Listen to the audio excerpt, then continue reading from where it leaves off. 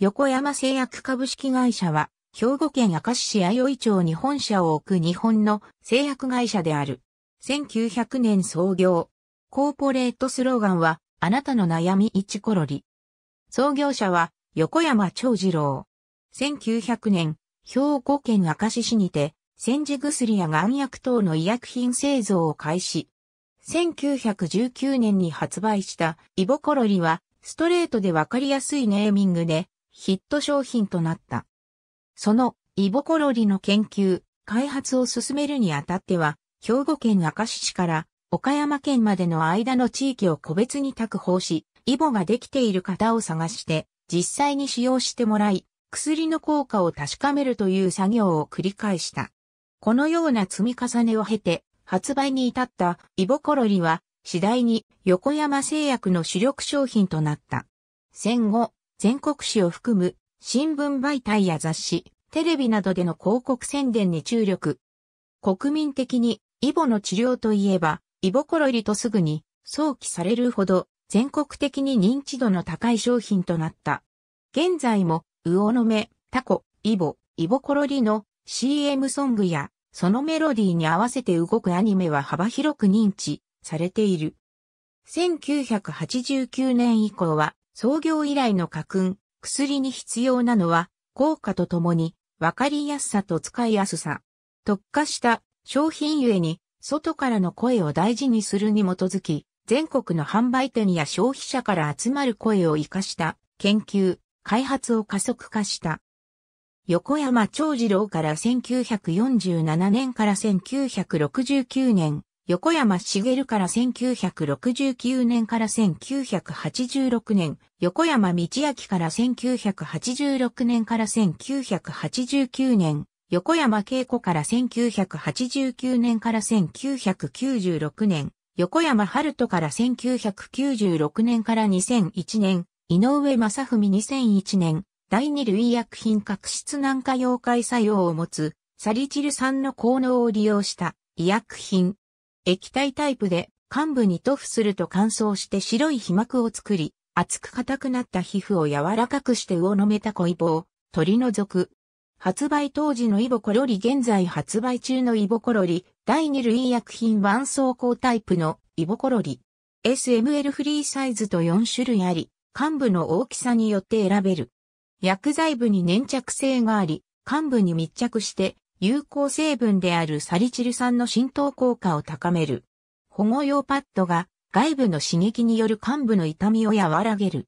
第三類薬品首垢をお腹、背中など皮膚の柔らかい部分にできたイボを治療する内服用錠剤。生薬の抑異人から抽出されたエキスを錠剤にしたお薬。体に優しく作用し、イボや皮膚の荒れに効果がある。第二類医薬品魚の目やタコ用の治療薬として開発。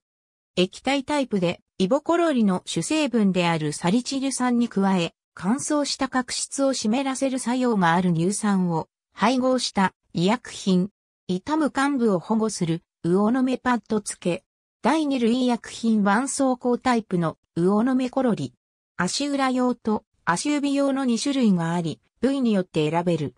薬剤部に粘着性があり、幹部に密着して有効成分サリチル酸の浸透効果を高める。保護用パッドが外部の刺激による幹部の痛みを和らげる。女性のために製薬会社が開発したフットケアシリーズというコンセプトのもとに開発されたフットケア用品ブランド。薬品付け板装甲足指や足裏などの魚の目やタコを除去する薬品付け板装甲。クッションパッドクッション性に優れた低反発のアクリル樹脂素材を使用。足裏や足の指にできた魚の目タコを靴の圧迫痛から守る。ゲルマニウム足裏樹液シート救出によって発熱するシート。寝ている間に血流と代謝を促進し、疲れた筋肉をほぐして、翌日の疲労感や凝りを緩和する。など、ナチュラベーレは横山製薬では初となる化粧品ブランド。ザ・マイクロニードルはマイクロニードル技術を採用した針状の目元ケア用パック。10種の美容成分をミクロの針状に結晶化させ、その針を敷き詰めたシートを皮膚に貼ることで角質層へ直接潤いを届ける新しいスキンケア用品。1900年明石市にて医薬品製造販売業を始める。骨髄炎、リュウマチ、脊髄炎の天氷薬、狼重剤を発売1903年ナマズ療薬、ピオチオールを発売1919年社名を横山製薬と改める。同時に、イボコロリの製造販売を開始1946年、イボコロリの医薬品製造承認を受け、1瓶4円で発売。水虫薬、ピレポン、流行性感冒薬、横ピリンも発売。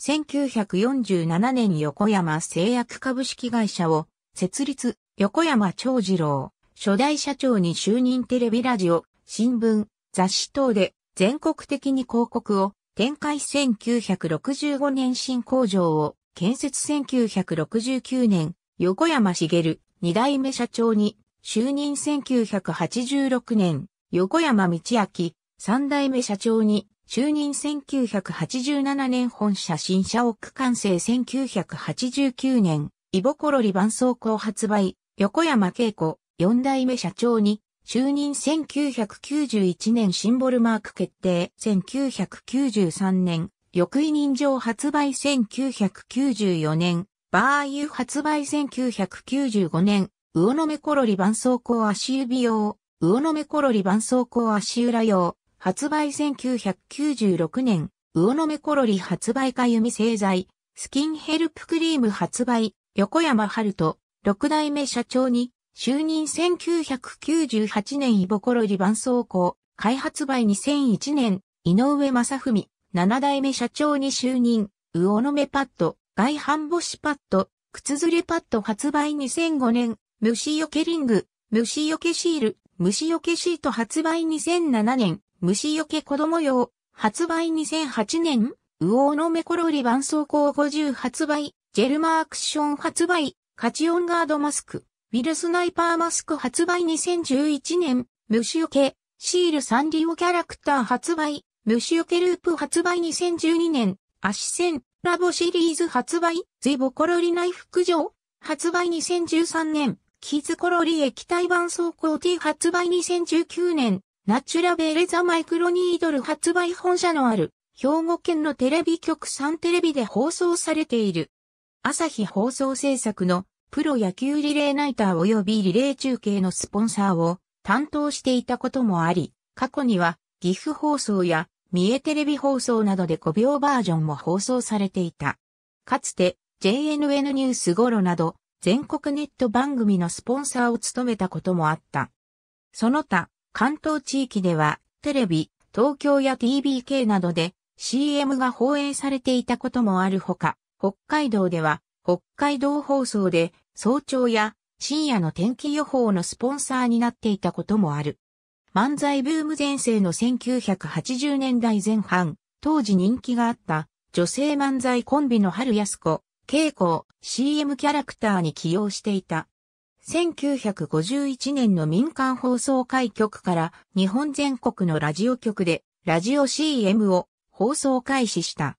本社のある兵庫県などの近畿広域圏を放送対象地域とする MBS ラジオでは開局から現在に至るまでスポット CM が放送されている。同社が本社を置く兵庫県1円で販売されている神戸新聞では多数広告が掲載されている。その一方で時折ではあるが朝日新聞、読売新聞の全国版などに製品名のみのにベタ広告が掲載されてもいる。ありがとうございます。